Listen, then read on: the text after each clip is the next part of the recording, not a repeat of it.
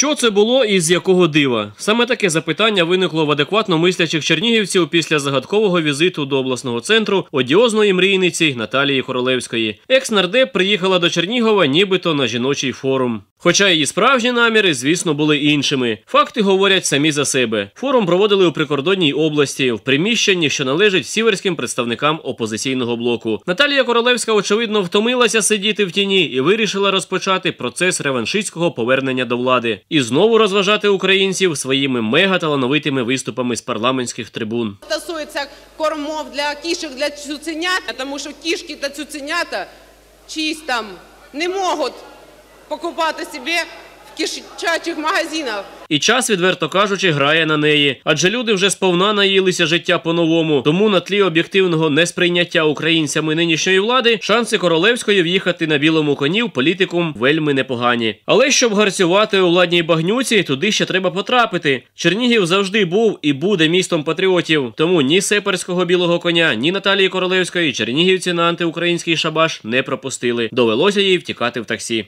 настоящие ребята, которые сегодня сохраняют э, нашу страну Они не бегают э, с лозунгами по женским форумам. У цій історії не обійшлося також без звинувачень політичного мотиву. До організаторів форуму безпідставно приписали також партію наш край. Хоча насправді ця політична сила нічого спільного з опозиційним блоком і власне Наталією Королевською не має. когда хотят э, сделать какие-то политические заявления или унизить, или там э, облить грязью своих политических э, оппонентов, то это получается именно вот такая ситуация. Политическая партия «На кра- «Наш край», ни депутаты городского совета, ни депутаты областного совета никакого отношения к проведению этого мероприятия не имели. Если там говорилось э, какие-то сепара- сепаратистские мысли высказывались, это, конечно, неправильно. Наш край всегда был и остается политической партией, которая подтверждает борність нашої України, цілісність нашої України. Очевидно, що попереду буде чимало спекуляцій та авантюр, адже політичні привиди зроблять усе можливе, аби знову повернутися до влади. А про гуманність у таких процесах говорити не доводиться. Павло Солодовник спеціально для Челайн ТВ.